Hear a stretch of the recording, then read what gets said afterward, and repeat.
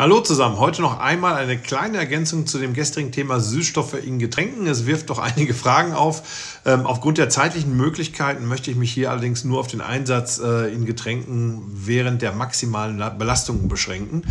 Ähm, ich beziehe mich da oder bezog mich gestern da auf eine Studie aus dem Jahr 2020, die ich auch gleich verlinke, wo die gleichzeitige Gabe von dem Süßstoff Sucralose mit Kohlenhydraten untersucht wurde. So, in der Studie wurde dann nämlich gezeigt, dass es zu einer Veränderung der Verstoffwechslung des Zuckers kommt, bei der die Insulinempfindlichkeit ähnlich wie bei der Vorstufe des Typ 2 Diabetes reduziert wird. Es kommt quasi zu einer Fehlregulation im Zuckerstoffwechsel.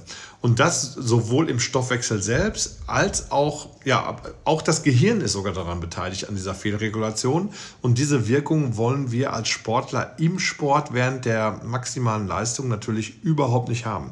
Warum es dann in manchen Getränken für den Sport äh, so angeboten wird, ist mir auch schleierhaft.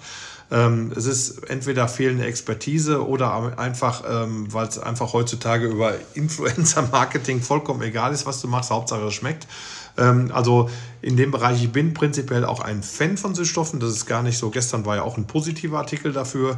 Ähm, nur ähm, beim Leistungssport in der sportlichen Belastung selbst, da gehört er definitiv nicht rein. Darauf müsst ihr achten. So, frohe Weihnachten wünsche ich euch.